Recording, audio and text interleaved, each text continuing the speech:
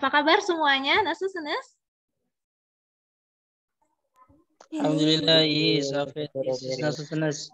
Alhamdulillah ben de iyiyim. Teşekkürler. Ee, inşallah bugün konu dil bilgisi öğreneceğiz. Jadi kita akan belajar tentang tata bahasa untuk hari ini. Sebentar kakak share dulu PowerPoint-nya. Apakah sudah terlihat?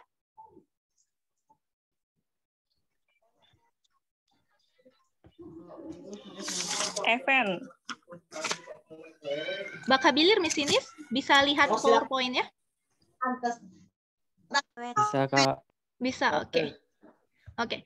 Nah, untuk hari ini kita akan belajar tentang dil bilgisi. Jadi bil ini artinya bahasa, bilgi ini ilmu. Jadi istilahnya itu tata bahasa ya kalau di dalam bahasa Indonesia. Jadi kita belajar tentang grammar untuk hari ini. Nah, sebelumnya sebelumnya di dalam bahasa Turki kita udah pelajari kalau di bahasa Turki itu ada yang dinamakan vowel harmony gitu ya. Jadi kalau bahasa Turki itu dia ada kategori untuk vowelnya, untuk kata untuk huruf-huruf vowel, huruf-huruf vokal, di mana kalau e itu temannya dengan a. E a, kemudian i e, u o, u sama e. Masih ingat? Masih yuk. Oke. Nanti teman-teman bisa cek lagi video sebelumnya. Oke. Nah, khusus untuk onlar, gitu ya, pilihannya cuma ada dua. Kalau nggak ler, lar. Nah, ler ini digunakan ketika huruf vokal terakhir dari kata tersebut itu diakhiri dengan huruf vokal i, e, u, atau e. Kemudian kalau untuk lar, ini huruf vokal terakhirnya itu e, a, u, sama o. Ya. Mungkin kalau kita lihat contoh lebih jelas gitu ya. Nah, ini misalnya contohnya di kata benda atau isim. Misalnya nih, sekreter. Artinya apa? Sekreter? Sekretaris. Ya, sekretaris. Jadi kalau karena di sini huruf vokal terakhirnya itu adalah huruf E, gitu ya. Jadi pakainya sekreterim. Jadi di sini ujungnya pakai im untuk ben. Ben sekreterim. Jadi saya seorang sekretaris.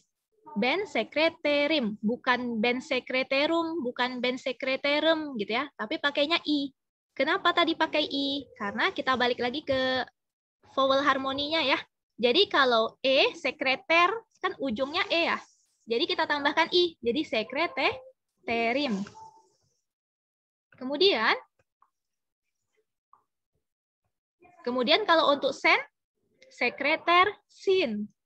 Kalau untuk o, sekreter, gitu ya. Untuk bis, sekreteris, sis, sekreter sinis, onlar, sekreter ler, gitu. Nah, ini opsional bisa pakai sekreter ler atau cukup bilang sekreter aja. Kalau untuk onlar. Nah, contoh lainnya di sini ada Turk. Turk ini artinya orang Turki. Jadi ben Turkum. Saya orang Turki. Sen Turksun, kamu orang Turki dan seterusnya gitu ya. Kemudian ada Alman. Alman apa artinya Alman? Jerman. Jerman, ya. Jadi ketika dibilang Ben Almanem, saya orang Jerman. Kemudian dan seterusnya di sini ya, teman-teman bisa lihat. Nah, untuk ini di sini pakainya e. Kenapa? Karena di sini huruf vokal terakhirnya a. Kalau a temannya dengan e. Kita balik lagi ya di sini. Nah, di sini ya. Jadi karena dia a ini huruf vokal terakhirnya pakainya e. Jadi em. Almanem. Gitu ya. Kemudian Nah, kemudian ada memnun. Memnun apa artinya? Memnun. Sering ya bilang memnun oldum. Apa arti memnun oldum? Nice to meet you. Ya, nice to meet you. Uh, nice to meet you. Senang berkenalan dengan denganmu. Jadi memnun di sini bisa kita artikan uh, hampir sama kayak mutlu gitu. Jadi senang. Senang. Ben memnunum. Ya, saya senang. Sen memnun sun. Kamu senang. Oh, memnun gitu. Biz memnunuz. Kami senang. Siz memnun sunus, kalian senang atau Anda senang. Onlar memnun lar. Gitu ya. Ini eh, teman-teman semua udah bisa ya. Band ini saya, sen kamu, oh dia, bisa untuk laki-laki atau perempuan karena di bahasa Turki eh, no gender ya, sama kayak bahasa Indonesia, tidak membedakan eh, antara laki-laki dengan perempuan untuk subjeknya atau sahih zamir lerinya. Kemudian siz, siz ini bisa kalian, bisa Anda. Kalian untuk yang pluralnya, yang jamaknya, Anda untuk yang singular atau tunggalnya. Kemudian ada onlar, onlar ini mereka. Gitu ya. Kalau onlar pilihannya cuma ler atau lar. Jadi kita bisa lihat tadi di sini ya. Oke. Itu sekelas pengenalan terkait uh, untuk kata bendanya, gitu ya. Kalau untuk negatifnya gimana? Kalau untuk bilang negatif kita tambahkan deil, ya. Deil. Jadi deil ini artinya apa? Deil. Bukan. Bukan, Bukan. ya. Ya. Bukan. Jadi deil ini artinya bukan. Kalau di bahasa Turki, deil ini bisa digunakan untuk kata benda dan kata sifat. Gitu ya. Bisa untuk isim, isim ini kata benda, bisa juga untuk sifat. Untuk kata sifat ya. Bisa untuk sifat atau kata kata sifat gitu ya. Nah, misalnya kalau di bahasa Indonesia kan bukan ini cuman bisa untuk kata benda ya. Misalnya saya bukan murid, saya bukan mahasiswa, saya bukan guru. Kalau kita kan saya bukan cantik nggak ada ya, saya bukan cantik, saya tidak cantik. Tapi kalau di bahasa Turki, deil ini bisa untuk isim atau untuk sifat. Isim ini kata benda, sifat ini kata sifat. Misalnya untuk kata benda atau kita gunakan misalnya mesleknya di sini orange. Apa arti orange? Student. Murid. Ya, murid. Murid. gitu ya. Di sini ben orange deyilim. Berarti saya bukan murid gitu. Murid. Nah, jadi kalau ada deil di sini, ada deil di sini, ini berarti artinya bukan. Itu untuk membuat kata benda tersebut menjadi negatif gitu ya. Jadi ben orange deyilim, saya bukan murid. Sen orange deil sin. Ini yumusyak G ya. Kemarin eh, laptop kakak nggak ada huruf Turkinya. Ini sen orange deil sin. Ini yumusyak G ya. G-nya ada tanda di atasnya. Sen orange deil sin. Kamu bukan murid. Oh, orange deil. Dia bukan murid. This orange deilis. Kami bukan murid. Sis orange deil sinis. Kalian bukan murid. Kemudian ada onlar. Onlar orange deiler. Gitu ya. Mereka bukan murid. Kalau untuk eh, kata sifat gimana? Kalau untuk kata sifat juga bisa pakai deil. Misalnya, ben guzel deilim. Saya tidak cantik. Misalnya gitu ya. Ben zengin deilim. Saya tidak kaya. Jadi deil ini untuk menegatifkan bisa untuk kata sifat atau kata benda di dalam bahasa Turki. Gitu. Misalnya kakak kasih contoh ya. Untuk kata sifat misalnya zengin. Apa artinya zengin? Kaya. Kaya. Kaya. Ya. Kaya. Kalau fakir? Miskin. Ya, fakir miskin gitu ya. Fakir miskin. Kalau di bahasa Turki fakir berarti miskin. Kalau kita fakir fakir miskin tapi nggak ada pekerjaan, kalau miskin miskin tapi ada kerja gitu ya. Jadi fakir miskin. Nah, kalau misalnya mau bilang nih, saya nggak miskin, saya eh, nggak miskin. Gitu. Gimana Iya. cara bilang? Ben, fakir Fakir. Ben. Deilim. fakir deilim gitu ya ben fakir deilim saya kaya saya nggak miskin saya kaya gimana tuh bilangnya Ben jengin daily. ben fakir deilim artinya saya tidak miskin tapi saya kaya Ama ben Ama. zenginin. ama ban ben Ben zenginin. ya ama ben zenginim Zenginim. ya ama ben zenginim gitu ya. Biasanya kalau di bahasa Turki ini bukan ini biasanya kalau di bahasa Turki kalau kita kan bilangnya zengi gitu kan ya ngeng. Tapi kalau di bahasa Turki bil- bukan ngeng karena mereka agak susah bilang ngeng. Jadi bilangnya zengin. Jadi kayak g-nya kayak seakan-akan double gitu. Zenginim gitu ya jadi bukan bukan zenginim tapi zenginim ben fakir delim sama ben zenginim jadi saya nggak miskin tapi saya kaya gitu ya insya Allah amin nah gitu ya Amin. kurang Allahu lebih Amin, insya Allah. Nah, Amin. jadi untuk Deil, untuk Deil itu kita bisa menggunakannya untuk kata benda atau kata sifat untuk buat kata tersebut menjadi negatif, gitu ya. Intinya. Oke. Kemudian gimana nih kalau mau buat kata eh, kalimat tanyanya, gitu ya. Misalnya contoh Guzel, Guzel ini artinya cantik. Guzelim, saya cantik. Guzel mim, apakah saya cantik? Gitu ya. Jadi kita tambahkan mi, kemudian kita tambahkan di sini karena eh, subjeknya ben, pakainya di sini yim. Jadi guzel mim, guzel mim, apakah saya cantik? Gitu ya. Misalnya yang lain untuk sen, untuk kamu. Sebentar, kakak admit dulu semuanya. Nah, untuk kamu misalnya kersun, kamu buta. Kermusun, apakah kamu buta? Zor, zor artinya susah. Zormu, apakah susah? Sulit ya gitu. Susah ya. Ya. Zormu. Kemudian hazırız. Hazırız apa artinya hazır? Siap. Siap, Siap. ya.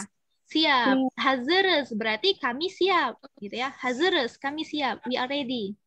Hazır mıyız? Apakah kami siap? Apakah kita siap? Gitu ya. Hazır mıyız? Gitu ya. Kemudian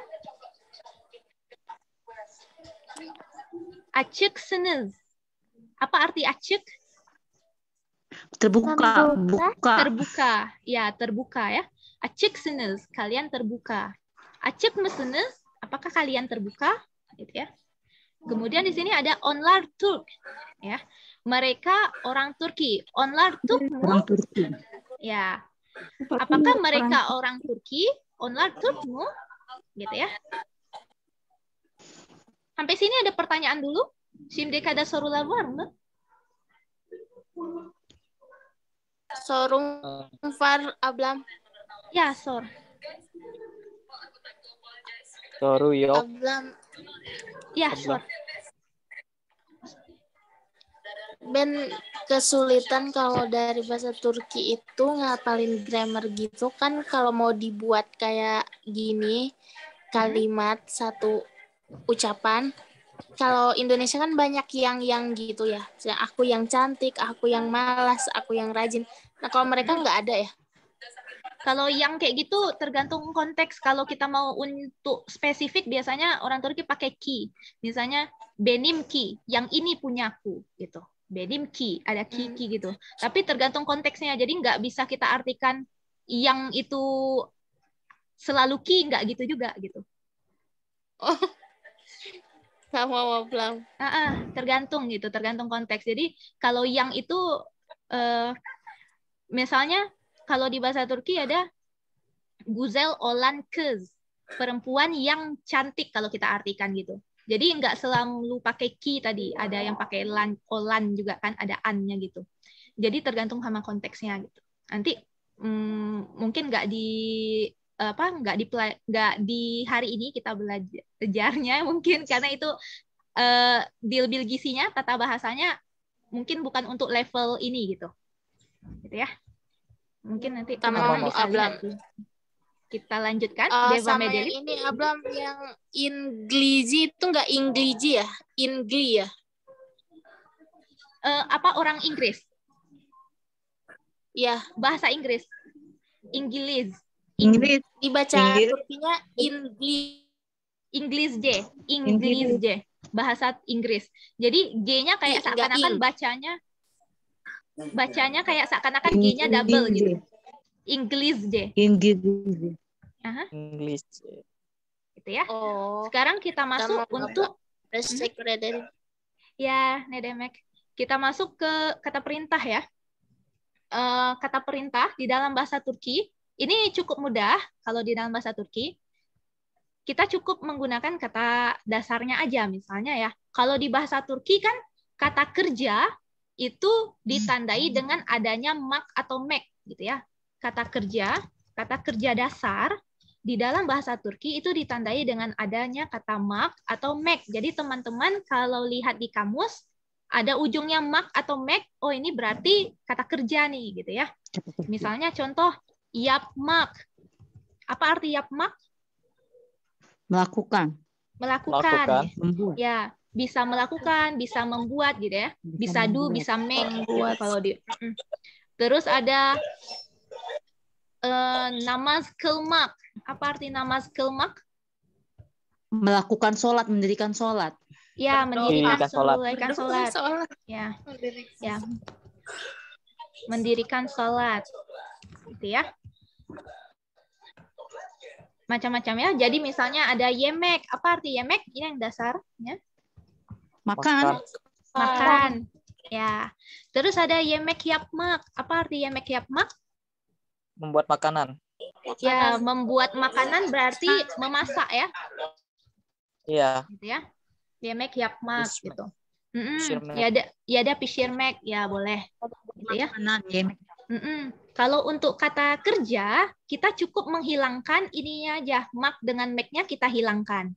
Jadi contohnya di sini nih, ada gelmek dari kata gelmek. Apa arti gelmek? Datang. Datang. Datang. Ketika kita ingin membuat suatu perintah, misalnya datang gitu. Datanglah gitu ya. Kita bisa bilangnya dengan gel gitu aja. Gel. Ya. Jadi mm, eh, make-nya kita hilangkan, kita cukup bilang gel. Gel artinya datang, ya. Datang. Jadi kita pakai tanda seru biar untuk menandakan dia kata perintah, ya. Datang.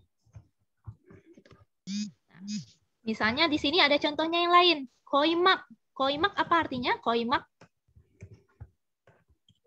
Menaruh. Ya, menaruh atau meletakkan gitu ya sama. Mhm. Berarti kalau kita mau bilang letakkan gitu ya, perkata perintah Koi. kita koi ya. Koi. Maknya kita hilangkan aja jadi koi gitu ya. Letakkan gitu. Koi. Ya. Kemudian di sini ini ya dari kata yapmak. Yapmak artinya melakukan. Berarti kalau kita bilang lakukan. Lakukan berarti yap gitu ya. Yap. Terus ada gulmek dari kata gulmek ini. Gulmek apa artinya? Tersenyum. Tersenyum. gitu ya. Tersenyum. Hmm. berarti misalnya kita mau bilang senyumlah gitu ya. Eh, berarti gel gitu ya. Gel. nah kalau mau lebih sopan kalau mau lebih sopan kita tinggal tambahkan di sini bisa in un en un tergantung sama vowel harmoninya. Misalnya contoh di sini gel. Gel ini kan untuk send gitu ya. Send eh, untuk kamu gitu datang ke sini misalnya Buraya gel. Tapi kalau misalnya kita mau lebih sopan untuk sis kita bisa tambahkan gelin di sini. Jadi kayak mungkin eh, istilahnya kalau lebih sopan kan kita kayak eh, silahkan datang gitu, gitu ya. Jadi lebih sopan karena untuk eh, anda gitu, untuk sis. Kemudian koyun berarti eh, silahkan letakkan gitu. Jadi lebih sopannya. Yapen Ah. eh, silakan apa lakukan gitu. Kemudian gulun silakan tertawa gitu. Jadi lebih sopan. Ini untuk Abla ditulis sis-nya. kenapa? Oh iya, ini Abla ada. ditulis ya, Koyun. oh iya iya. Ditulis. Oke sih. Yang mana yang ini ya? Gelin misalnya contoh yang, ya. yang sopan-sopannya itu yang Gelin, eh, Koyun, Bugibe. Gelin. Jadi Hmm. ini istilahnya kayak kita tuh lebih sopan gitu kan. Silakan Anda jadi untuk Anda gitu ya, untuk sis Hmm. datang gitu. Mm-mm. Jadi misalnya koyun, berarti ini kakak kasih parenthesis eh, tanda kurung.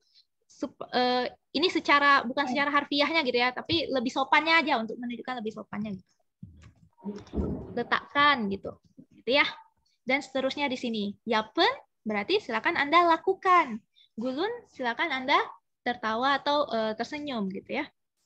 Nah, kalau mau kalau ini kan ini tingkatan sedang gitu ya sama teman bisa. Kalau ini lebih sopannya lagi. Kalau mau yang kasar itu gimana? Misalnya nih lagi marah nih. Kalau kita kan kalau di bahasa Indonesia datanglah. Nah, agak ngegas tuh gimana tuh bilangnya kalau di bahasa Turki? Gel sana. Ya, jadi gelsene. Kalau gel, gelsene. Yap, sana. Jadi kita bisa pakai sana atau sene. Tapi ini eh, agak kaba ya, agak kasar gitu. Kalau kita mungkin agak marah gitu. Jadi udah agak ngegas gitu, kita bisa bilang misalnya contoh gel ini artinya datang. Karena di sini huruf vokalnya e, berarti kita pakainya gel sana atau gel sene. Sini. Sene. jadi gel sene gitu. Jadi gel sene itu udah kayak agak ngegas gitu. Ke sini lah gitu. Tuh ya. Terus misalnya ada yap. Kalau yap pakainya sana atau sene? Sana. sana. Yap sana gitu ya. Jadi ini bu- bukannya kakak mengajarkan yang kasar gitu tapi maksudnya sekedar tahu untuk informasi aja gitu supaya lebih ekspresif aja gitu ya seperti orang Turki misalnya gitu. Mungkin teman-teman nonton film Turki atau apa gitu ya. Atau eh, punya teman orang Turki gitu. Nah kalau udah bilang gitu mungkin agak ngegas gitu ya. Gitu. Banane misalnya itu apa artinya? Apa? banane itu kayak bukan urusan aku gitu artinya. None of my business. Sanane? None of your business. Bukan urusan kamu. Gitu. Ya. nah misalnya ini ya contohnya tadi jadi kalau mau agak kasar bukan kalau mau ya. Maksudnya kalau penggunaannya eh, kita bisa pakai sana atau sene ini untuk kalau agak ngegas agak emosi gitu gel sene yap sana. Ya yap gitu ya. Atau misalnya eh, mau bilang apa ya? Contohnya misalnya eh, git sene gitu ya. Git git apa artinya? Git Pergi. pergi ya pergi. Git artinya pergi. Kalau mau agak marah gitu misalnya ya berarti git sene gitu ya. Ini kaba ya agak kasar gitu. Kemudian kalau mau biasa aja kita cukup bilang git. Kalau mau lebih sopan berarti gimana? Gidin ya. Ya. Jadi D ya, Didin. Iya, karena dia eh, first ke syahab. Masih ingat huruf-huruf yang dia luluh? Nanti dia ada huruf-huruf Orang tertentu. Turki emang suka bikin luluh. Aduh, baper. Nah, eh, ya kalau di bahasa Indonesia kan juga ada ya. Kayak misalnya kita apa? Eh, sapu jadi menyapu gitu kan ya bukan mensapu kan kita bilangnya menyapu jadi s-nya luluh misalnya tutup t-nya luluh jadi menutup bukan mentutup kan gitu ya di bahasa Turki juga ada yang seperti itu nanti teman-teman bisa lihat huruf-huruf ke syahab di pelajaran eh, pertama pelajaran alfabet ya di, Untuk yang di- Olympusnya Kabah juga bisa. Kabah. apa Itu ya Yap Masana. Iya, bisa. Kalau untuk negatifnya bisa. Ya, kita masuk yang ke negatifnya. Ini yang positifnya, gitu ya. Jadi bisa pakai gel, gelin. Kalau mau kasar pakai gel sene, gitu ya. Kemudian kalau untuk negatifnya gimana? Kalau mau untuk negatifnya, kalau untuk ne- untuk negatifnya kita tinggal tambahkan aja ma atau me. Misalnya contoh nih, gelme, jangan datang artinya. Gelme, gitu ya. Jangan lakukan. Lakukan apa bahasa Turki lakukan? Yapma. Yapmak. Ya, berarti yapma, jangan lakukan, gitu ya. Jadi di sini yapmak ini artinya melakukan. Kalau kita mau kata perintah untuk positif, lakukan, berarti kita cukup bilang yap, gitu ya. Kalau ini artinya lakukan.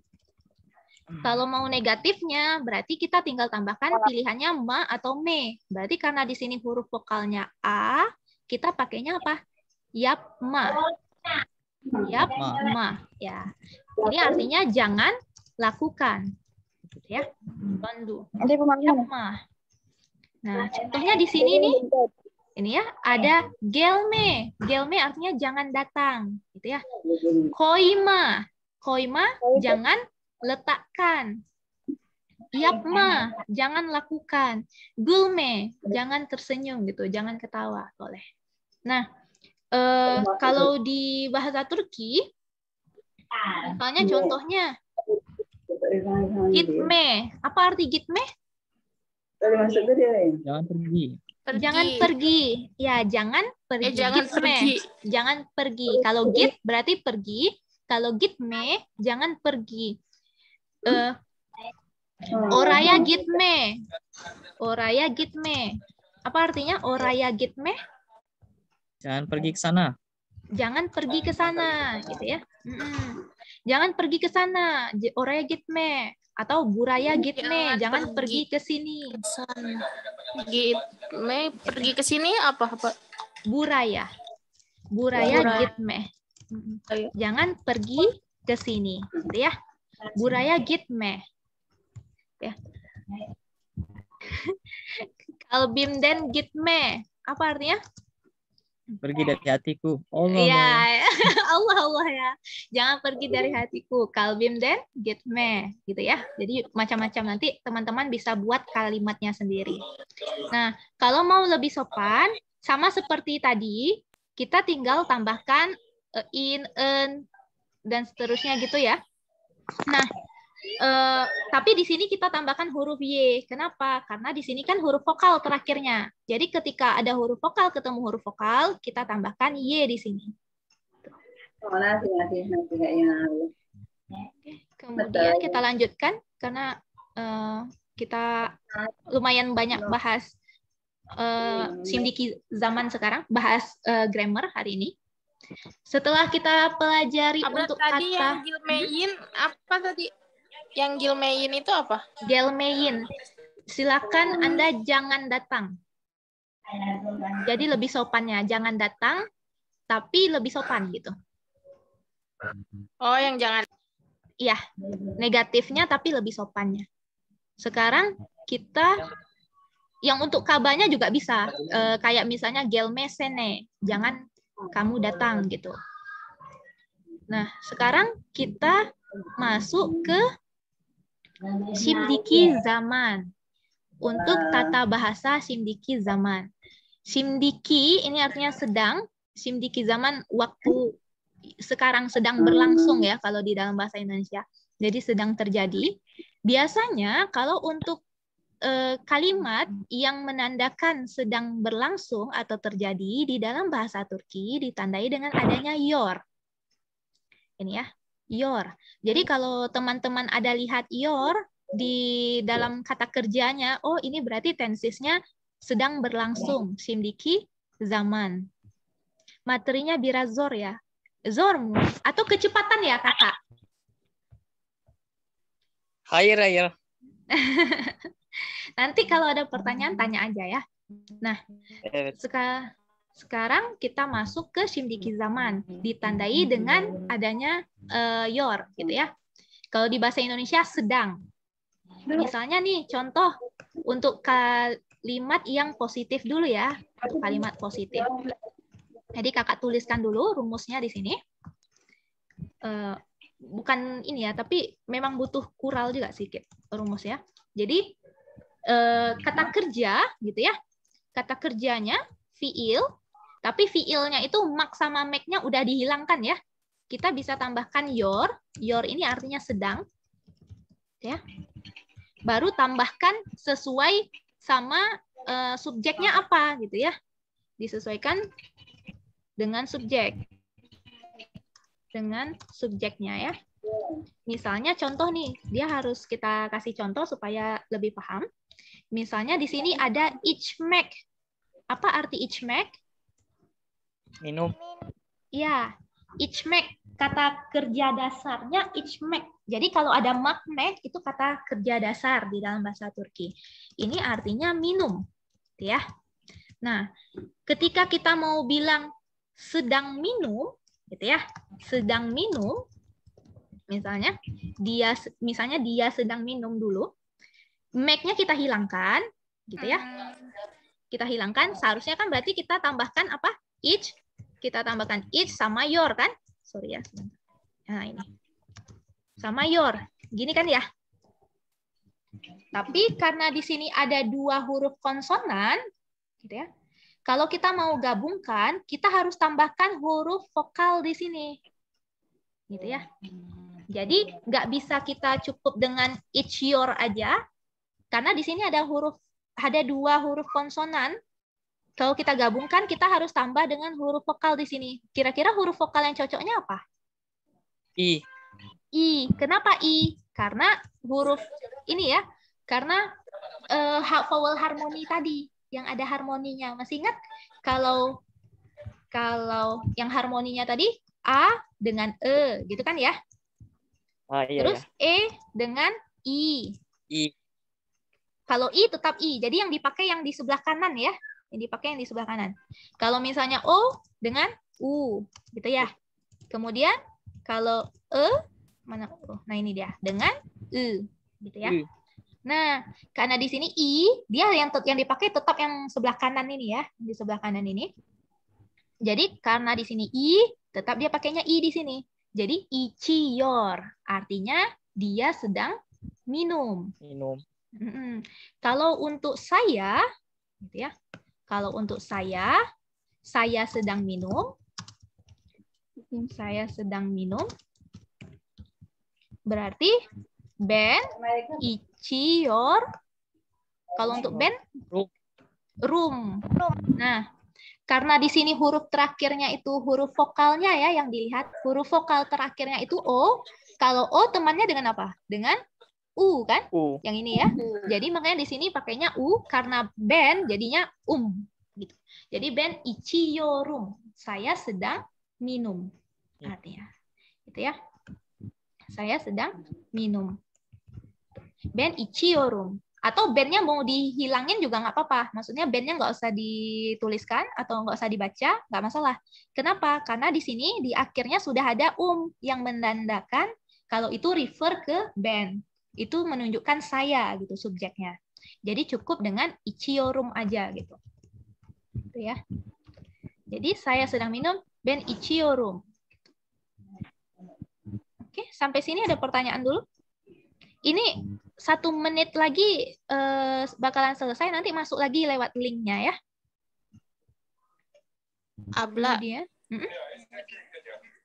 yang sebelumnya itu ada yemek yapmak, itu kan membuat masakan gitu ya. Nah, itu Membuat bisa ya makanan. dua eh membuat makanan artinya bisa Ya. memasak juga. yemek itu, bisa ada di double gitu ya. bu- bukan bukan double gitu. Jadi Magnetnya itu yemek maksudnya. Ya, jadi yemek itu dia punya dua arti. Pertama makanan dan makan. Jadi yemek ini gitu ya. Yemek ini bisa jadi kata benda, Hmm. bisa jadi kata kerja. Ketika dibilang ini isim ya, kata benda. Kemudian kalau makan ini dia kata kerja, fiil. Kata kerja. Sebentar. Kata kerja. Tergantung Nah. konteks juga apa gimana. Iya, tergantung konteksnya. Kalau dikatakan yemek yapmak, di sini yemeknya ini bekerja sebagai kata benda, bukan kata kerja. Yapmaknya yang bekerja sebagai kata kerja. Jadi membuat makanan. Karena makanan bukan kata kerja, makanan itu benda, ya kan? Jadi membuat makanan, bukan membuat makan. Oke. Bukan, gitu ya. Jadi yemek di sini nanti Ya, boleh Mbak. diganti, bisa Tapi pilav, eh, pilav yapmak gitu. Jadi membuat nasi, bisa ekmek gitu ya. Nasi. Jadi yemek di sini makanannya bisa diganti, bisa kebab, bisa macam-macam gitu, bisa rendang gitu ya. Piring.